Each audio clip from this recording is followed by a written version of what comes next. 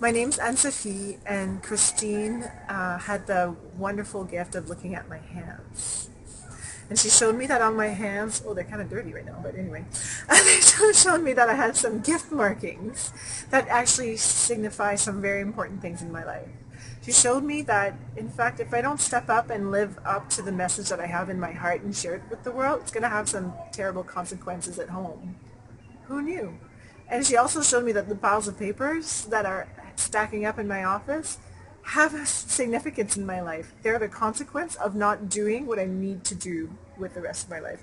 All that in my handprint. It was a really awesome session, and in just 15 minutes, I found out more, I had more clarity about some of these pieces that were nagging at me than I'd had in a long time. So I highly recommend you work with Kristine, especially if you're feeling a little bit stuck in any way, shape, or form, and you want to look at the map that you're born with and really feel more empowered about what's going on in your life so you know how to move forward in a really beautiful way.